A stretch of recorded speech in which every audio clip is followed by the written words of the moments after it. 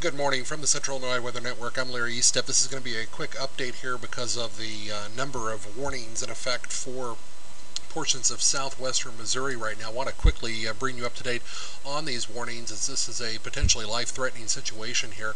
Uh, right now, a tornado warning in effect for Laclede, Phelps, and Pulaski counties in Missouri until 1:15.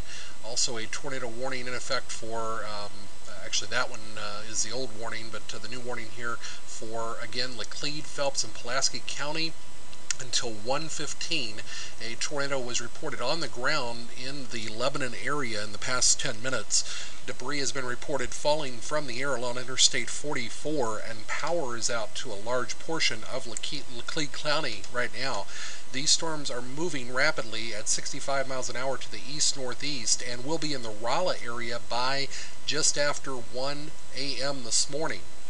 So again, this is a very serious situation here uh, with this storm, a confirmed tornado. You can see this report here coming in uh, uh, of a confirmed tornado two miles to the southwest of Lebanon at 1225 uh, this morning, 1242 uh, now. And you can see the latest frame on this is showing very clearly. If we can switch over to velocity, we can show you this even even more dominant here on the uh, radar image. You see where these reds and greens uh, are mixing together just to the south of I-44. This entire area here is uh, really uh, under the gun for uh, this storm. Again, there's been reports of damage. There have been reports of power outages and debris falling from the air. A tornado warning in effect until 115 Central Standard Time for Laclede, Phelps, and Pulaski County in Missouri. Let's go further to the southwest here because I want to show everyone this uh, storm that now has a severe thunderstorm warning over the Springfield, Missouri area. This uh, storm, uh, the strongest part of the storm right now in the south part of Springfield, going all the way down to the battlefield area and uh, even on down further uh, to the uh, area around Hurley this uh, cell has had a history of damaging winds up to 80 miles an hour and large hail. If we back out here even further, we can show you another concern a tornadic storm just moving across the Arkansas border right now uh, into portions of southwestern Missouri.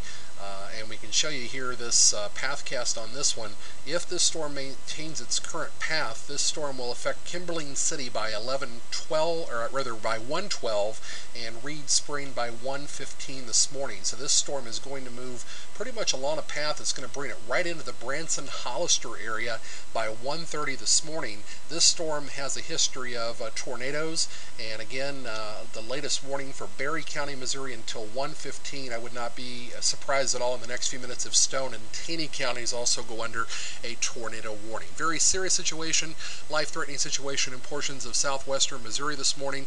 Uh, biggest concern with these is that they are rain-wrapped. They are moving extremely quickly. You can now outrun these storms uh, moving up to 80 miles an hour to the east-northeast at times.